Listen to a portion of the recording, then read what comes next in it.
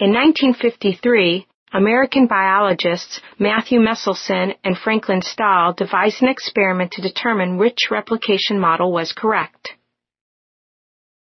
They grew cells of the bacterium E. coli in the presence of a heavy nitrogen isotope.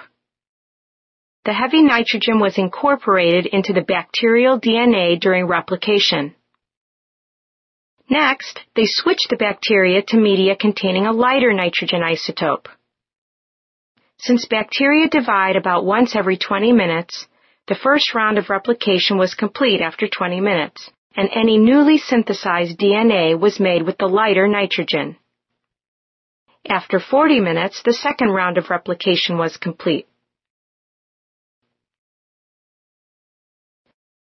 To determine which nitrogen isotopes each double-stranded DNA molecule contained, they extracted the DNA from the bacteria and separated the DNA molecules by density.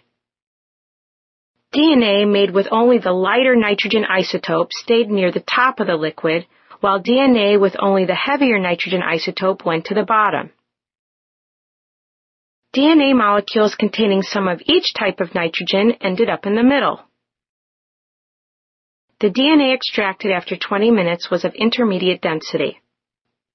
Which model do the results rule out? Click Submit to see if you're correct.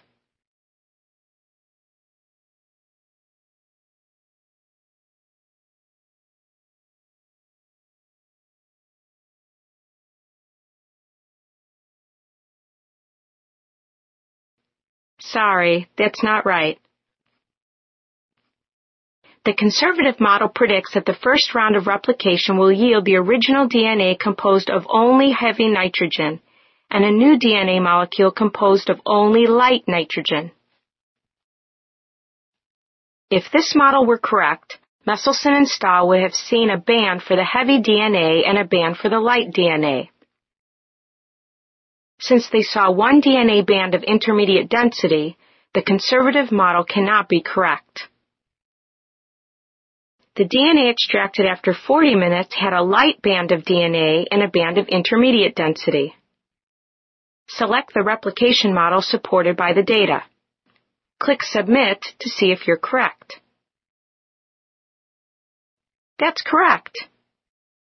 The dispersive model predicts that each DNA strand will be a mixture of heavy and light, and that all of the DNA molecules will have roughly the same density.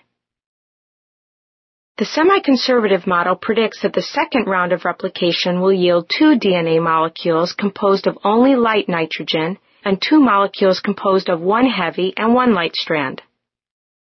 Since Meselson and Stahl got one band corresponding to the light DNA only and one band for the combination of heavy and light, the semi-conservative model is correct.